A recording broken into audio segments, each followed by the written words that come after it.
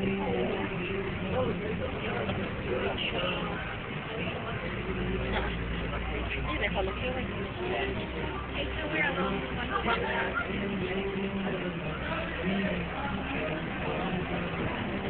doing such a good job.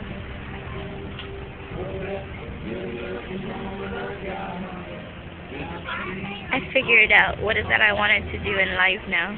Huh? I want to sit on the street of San Francisco and draw people across from In-N-Out. Yes, sir.